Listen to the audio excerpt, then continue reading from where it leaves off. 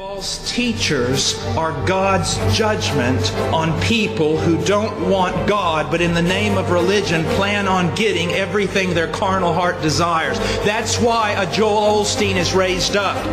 Those people who sit under him are not victims of him. He is the judgment of God upon them because they want exactly what he wants and it's not God.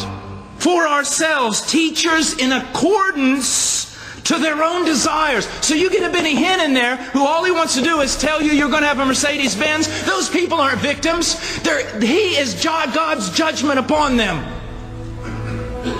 They want what he wants, and so they accumulate him to themselves along with all those other teachers because they teach exactly what they want. Do you see that? Perhaps women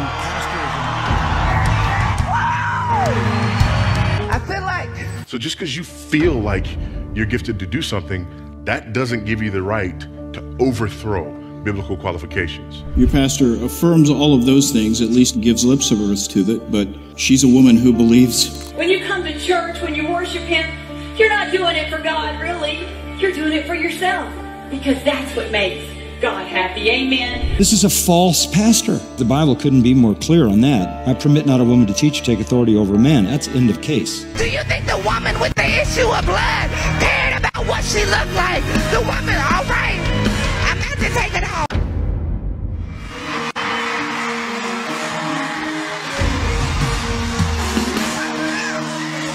It ain't never.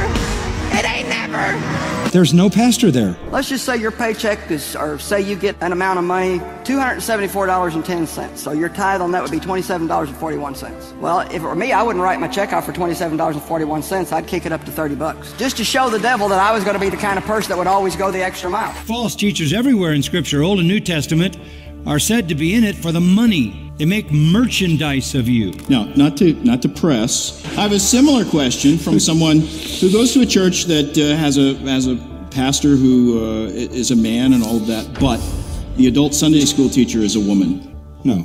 If they could tithe under the law, then what do you think you ought to do by grace? Yes, there will be people that will misuse your money.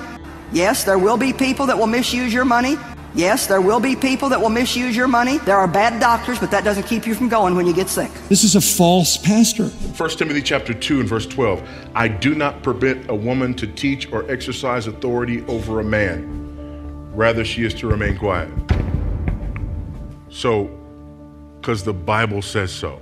No elder can be a woman because an elder has to be a, a one woman man and the head of his own household. I mean, it's an open and shut case. God tells the serpent that the seed of the woman is going to crush his head, but he also says that the seed of the serpent is going to bruise her heel. And so I have been really, really helping so many women understand that just because your heel has been bruised by a divorce, by a teen pregnancy, doesn't mean that you can't crush the serpent's head. This is a false pastor. Twelve apostles, none of them was a woman. There's no woman in the Old Testament had an ongoing prophetic ministry. No apostle was a woman. No close follower of an apostle was a woman. The 70 weren't women. So, in your view, that's a serious enough to. That is a very serious, yeah, because there's no pastor there. Megachurches. 1 Timothy chapter 2 and verse 12. I do not permit a woman to teach or exercise authority over a man. Rather, she is to remain quiet. So, because the Bible says so. Um, and that's it. The other thing is. To rise in body or spirit and let us confess our faith today in the words of the Sparkle Creed.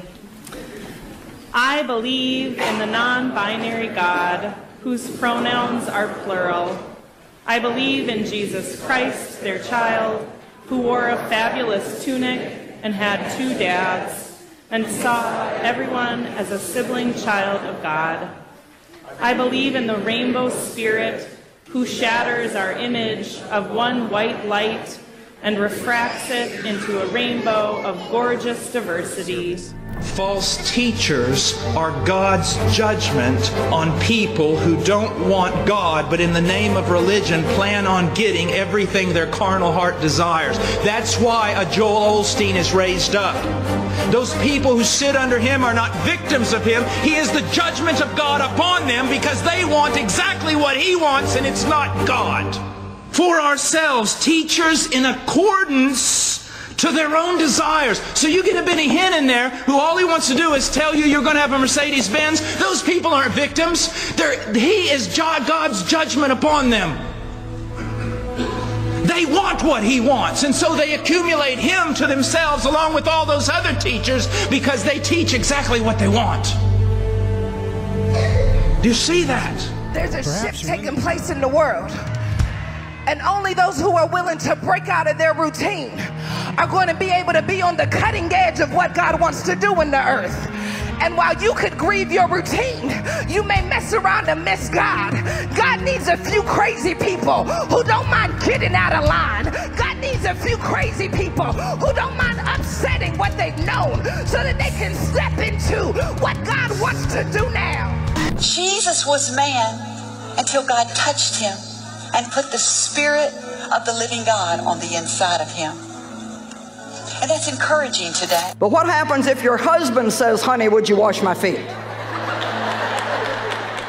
Are you nuts?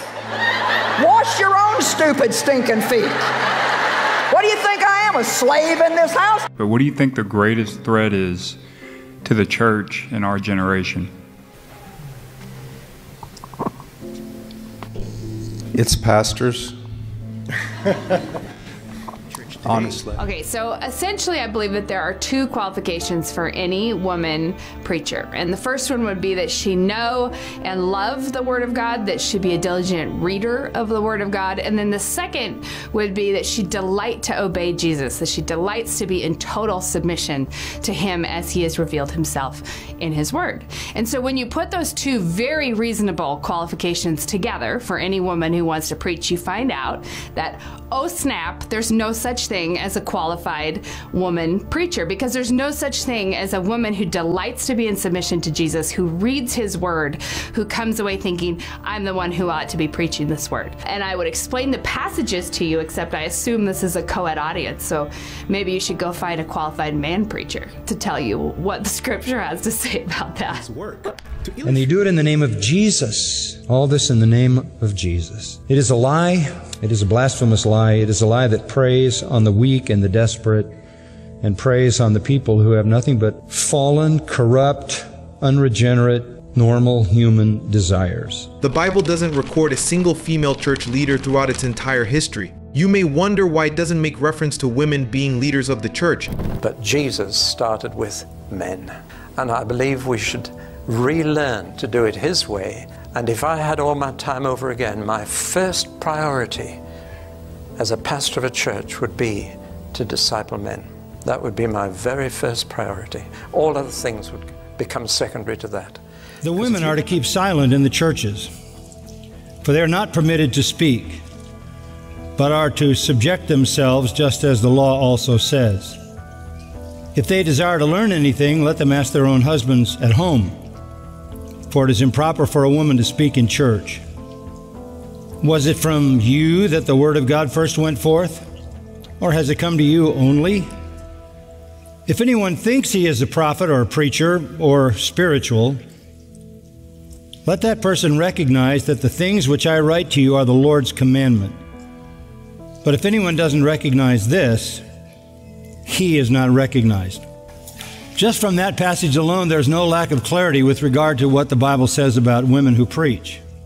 1 Timothy chapter 2 and verse 12. I do not permit a woman to teach or exercise authority over a man. Rather, she is to remain quiet.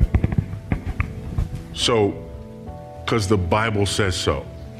Um, and that's it. The other thing is, well, what if a person feels like they have gifts to do that? Uh, no one gets to do everything they feel like they're gifted at. No one does. Um, what if a man who has several wives feels like he's gifted to be a pastor? The Bible says he must be the husband of one wife, right? So just because you feel like you're gifted to do something, that doesn't give you the right to overthrow biblical qualifications. Um, the office of the elder, uh, Paul says, you know, when he's talking about the elder, he must be the husband of one wife. He's talking about a man, okay? That office is exclusively for men. Um, that's the office of the pastor teacher. Um, so if the office is exclusively for men, and the Bible is very clear that women are not to teach or exercise authority over men, there's absolutely no room um, for women to be in that office or to exercise that authority in the church.